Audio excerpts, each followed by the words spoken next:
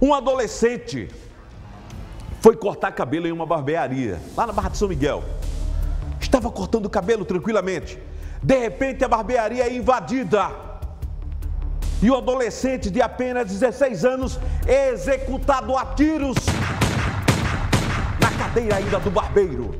Veja a matéria. Wesley Costa foi até lá.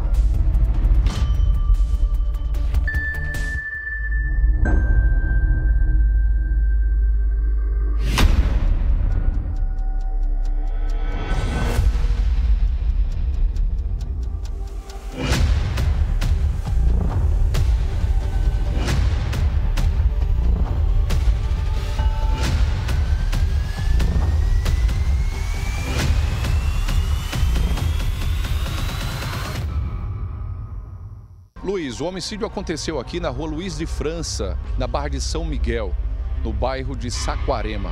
A vítima, um jovem de apenas 16 anos. O nome dele, Givanildo de Andrade da Silva Filho. Segundo informações que foram passadas aqui no local, ele estava nessa barbearia quando foi surpreendido pelo criminoso que efetuou vários disparos de arma de fogo. A namorada dele está aqui próximo, né? Uma adolescente também. E chorando muito, né? Nervosa. Aqui no local já tem uma equipe do IC, né? Do Instituto de Criminalística, que acabou de fazer o trabalho aqui. A equipe do IML também está aqui no local e recebendo o apoio da Polícia Militar. Como sempre, poucas informações, né? Homicídio registrado aqui na Barra de São Miguel. Ele trabalhava como servente de pedreiro. Essa foi a informação que eu recebi da namorada dele. E estava aqui cortando o cabelo quando foi assassinado com vários disparos de arma de fogo. A equipe da Polícia Militar também é, passou a informação que provavelmente foram disparos de revólver, né?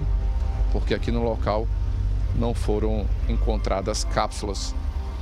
E agora o jovem vai ser levado por essa equipe do IML. Homicídio, Rua Luiz de França, Barra de São Miguel. Luiz Uchoa. Mais um crime a ser investigado pela Delegacia de Homicídios. Mais um crime na região metropolitana da nossa capital. Pensa que parou por aí? Aí você diz, meu Deus, mataram esse garoto? Teve mais mortes teve mais. Você vai ver agora